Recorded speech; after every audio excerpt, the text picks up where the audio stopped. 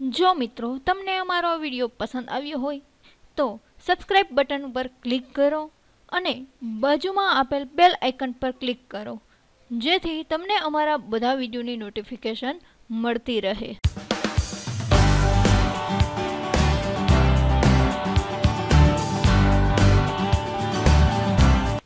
Hello friends Gujarat jobs tutorial ચેનલમાં આપનું હાર્દિક સ્વાગત છે. મિત્રો દર મહિનાનું આપણે વીકલી કરંટ અફેર્સ જોઈએ જ છીએ. તો આજે આપણે આ વિડીયોમાં પણ એકવીસ જાન્યુઆરી બે હજાર અઢારથી સત્યાવીસ જાન્યુઆરી બે હજાર અઢારનું કરંટ અફેરના કેટલાક પ્રશ્નો જોઈશું, જે તમને કોમ્પિટિટિવ એક્ઝામમાં ખૂબ જ ઉપયોગી રહેશે. એક વસ્તુ ધ્યાનમાં રાખો મિત્રો, કે જો તમે અમારી આ ચેનલમાં નવા હોય, તો અમારી આ ચેનલને લાઈક કરજો અને સબસ્ક્રાઈબ કરવાનું ભૂલતા નહીં. એમાં પ્રશ્ન પહેલો છે, આઠથી વીસ જાન્યુઆરી બે હજાર અઢાર દરમિયાન કેટલામાં બ્લાઇન્ડ ક્રિકેટ વર્લ્ડ કપનું આયોજન થયું હતું? જવાબ છે, પાંચમાં. પ્રશ્ન બીજો, બ્લાઇન્ડ ક્રિકેટ વર્લ્ડ કપ બે હજાર અઢારનું આયોજન ક્યાં થયું હતું? તો પાકિસ્તાન અને યુએઈ એટલે કે યુનાઇટેડ આરબ અમીરાત અથવા તો સંયુક્ત આરબ અમીરાતમાં બ્લાઇન્ડ ક્રિકેટ વર્લ્ડ કપ બે હજાર અઢારનું આયોજન થયું હતું. પ્રશ્ન ત્રીજો, ભારતે કોને પરાજય આપીને વર્ષ બે હજાર અઢારનો બ્લાઇન્ડ ક્રિકેટ વર્લ્ડ કપ જીતી લીધો છે? તો ભારતે પાકિસ્તાનને પરાજય આપીને વર્લ્ડ કપ જીતી લીધો હતો. પ્રશ્ન ચાર ભારત અને પાકિસ્તાન વચ્ચેની બ્લાઇન્ડ ક્રિકેટ વર્લ્ડ કપ બે હજાર અઢારની ફાઇનલ મેચમાં ક્યાં યોજાઈ હતી?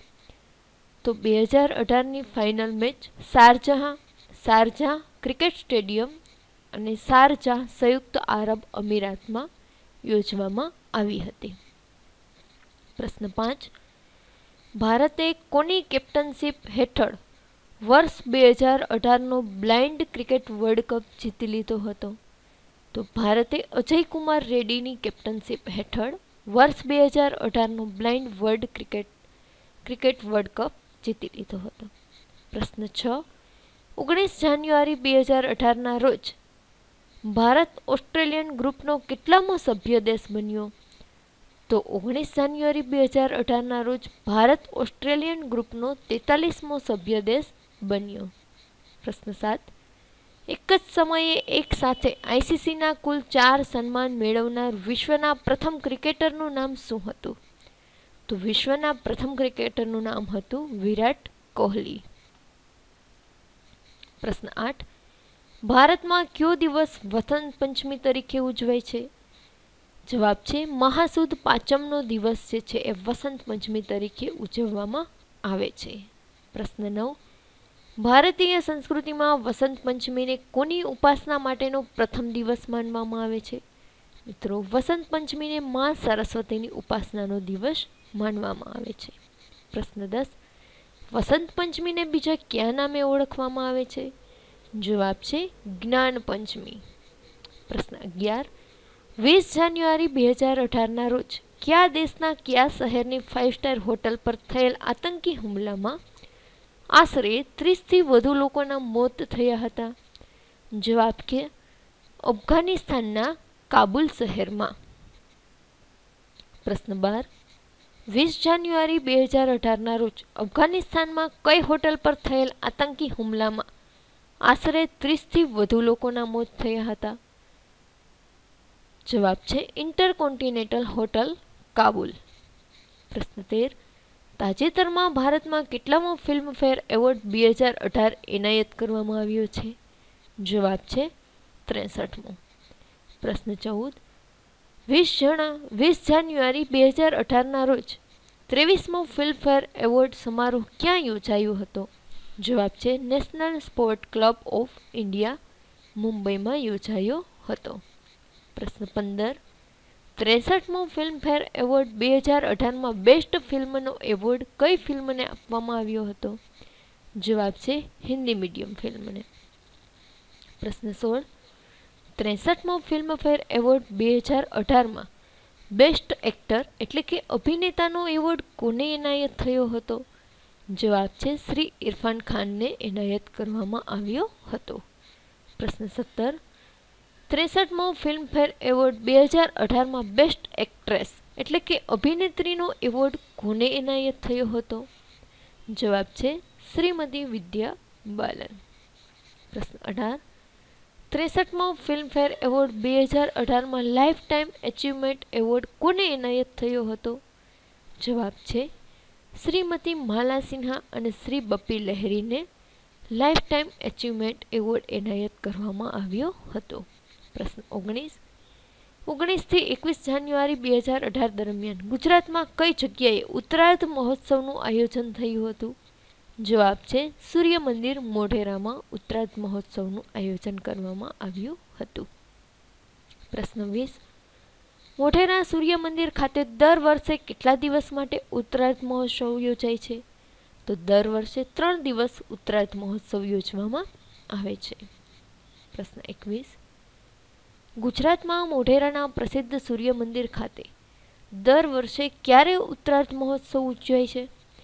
તો દર વર્ષે ઉત્તરાયણ બાદ જાન્યુઆરી મહિનાના ત્રીજા સપ્તાહના અંતિમ દિવસોમાં આ મહોત્સવ યોજવામાં આવે છે. પ્રશ્ન બાવીસ. મોઢેરા ગુજરાતના કયા જિલ્લાના કયા તાલુકામાં આવેલું છે? તો મોઢેરા ગુજરાતના મહેસાણા જિલ્લાના બહુચરાજી તાલુકામાં આવેલું છે. પ્રશ્ન ત્રેવીસ. ભારતમાં કયો દિવસ રાષ્ટ્રીય દેશપ્રેમ દિવસ તરીકે ઓળખાય છે? ત્રેવીસ જાન્યુઆરીનો દિવસ રાષ્ટ્રીય દેશપ્રેમ દિવસ તરીકે ઓળખવામાં આવે છે. પ્રશ્ન ચોવીસ. ભારતમાં કોનો જન્મદિવસ રાષ્ટ્રીય દેશપ્રેમ દિવસ તરીકે ઓળખાય છે? તો સુભાષચંદ્ર બોઝનો જન્મદિવસ રાષ્ટ્રીય દેશપ્રેમ દિવસ તરીકે ઓળખાય છે. પ્રશ્ન પચીસ. સુભાષચંદ્ર બોઝનો જન્મ ક્યાં થયો હતો અને તેનું નિધન ક્યાં થયું હતું? તો તેમનો જન્મ કટક, ઓડિશામાં થયો હતો અને તેમનું નિધન અઢાર ઓગસ્ટ ઓગણીસો ને પિસ્તાલીસ એટલે કે તાઇપેન એટલે કે તાઇવાનમાં થયું હતું. પ્રશ્ન છવ્વીસ. વીસ જાન્યુઆરી બે હજાર અઢારના રોજ ગુજરાતમાં કઈ જગ્યાએથી ડાયનાસોરના ઈંડા મળી આવ્યા છે? જવાબ છે, ઈડના મુવાડા ગામ, તાલુકો બાલાસિનોર અને જિલ્લો મહીસાગર. ત્યાંથી ડાયનાસોરના ઈંડા મળી આવ્યા છે.